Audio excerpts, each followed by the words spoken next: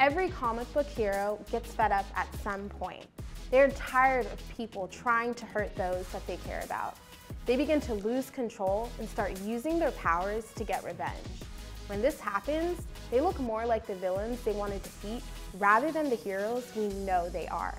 Unsurprisingly, we do this too. Sometimes we hurt others after being hurt. We want others to experience the same pain they caused us. But we have seen enough comic book movies to know revenge doesn't lead to happy endings. In a letter to the Ephesians, Paul says something revolutionary. In your anger, do not sin. He invites us to validate the emotions we feel when we are angry, but be mindful to not hurt others in the process. With the help of God's Spirit, even when it is difficult, this is possible. You can follow Jesus' example and remember, when you're angry, don't get hurtful.